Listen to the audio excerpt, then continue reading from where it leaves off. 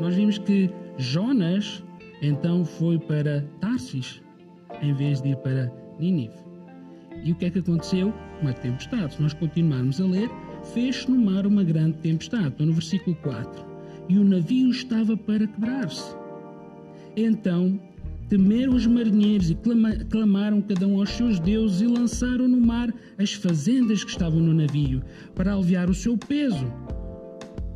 Jonas, porém,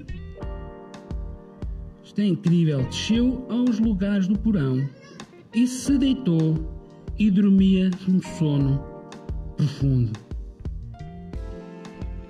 Nós depois vimos que houve uma situação em que eles descobriram que foi Jonas, vamos dizer assim, que era Jonas a causa daquela situação, e eles confrontaram Jonas. Jonas estava a ser tão, tão, tão a esconder-se, tão a não dar a parte fraca, que eles tiveram de descobrir por eles que aquilo estava a acontecer por causa de Jonas. Jonas estava a causar o dano àquela gente toda. Eles jogaram fora os seus pertenceres perderam as suas coisas ou parte delas para não ficarem ali no mar, para tentar salvar as suas vidas. E Jonas a ver aquilo tudo. E no entre o salve-se quem puder, ele pensou nele próprio e escondeu-se. E escondeu-se. Eu quero falar àqueles que também andam escondidos. Deus criou-te com um propósito. Eu posso dizer que esse propósito não é passares a vida a esconder-te. E custa sair do lugar do esconderijo, porque quando o esconderijo se torna o teu lugar de conforto, tu não vais querer sair de lá. Não vais conseguir ver o que está a acontecer aos outros por causa de estar escondido.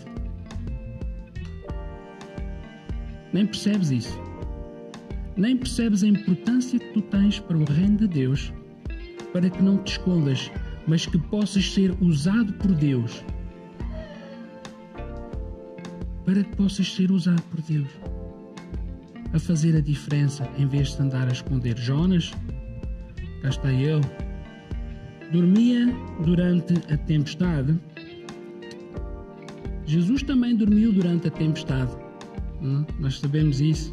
Só que Jesus dormia na tempestade, ele estava em paz, ele estava tranquilo, ele tinha a sua consciência leve.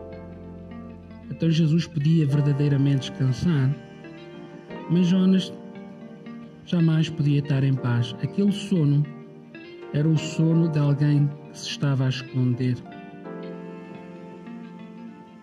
assumiu um bocadinho da responsabilidade quando foi descoberto e disse: Olha, se vocês me jogarem fora do, do barco, depois isto tudo vai acalmar. Mas foi muito, muito, muito a ferros, vamos dizer assim. Eu quero dizer, nós conseguimos nos esconder das outras pessoas, mas nós não nos conseguimos esconder de Deus. E Deus sabe exatamente onde estamos. Deus sabe muito bem onde é que é o esconderijo que nós escolhemos para estar, a pensar que mais ninguém vê, mas Deus continua a ver-nos. E por incrível que pareça, Deus, para nos ajudar, vai querer fazer-nos sair do lugar do esconderijo, porque esse não é o nosso lugar, não é o lugar que Ele escolheu para nós. Mas pode ser um processo um bocadinho doloroso não é um processo fácil, porque para nós podermos experimentar a transformação de Deus na nossa vida, nós vamos ter, ter a capacidade de nos expor um bocadinho. E foi isso que Jonas teve de fazer. Isto é por causa de mim. Ele teve de se expor e ele foi julgado. Mais tarde acabou por ser jogado no mar.